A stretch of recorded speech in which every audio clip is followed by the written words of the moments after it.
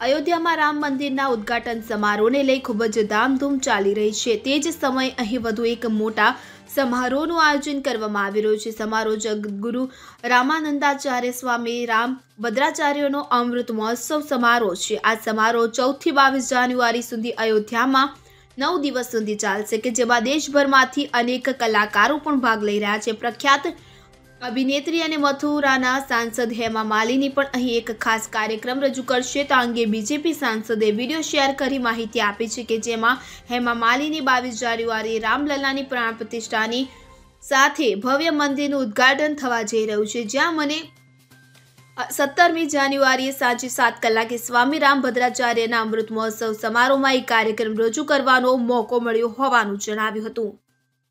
Bureau report CN twenty four news. હવે જુઓ, દેશ દુનિયાની તમામ ખબરો તમારી આંગળીના ટેરવે.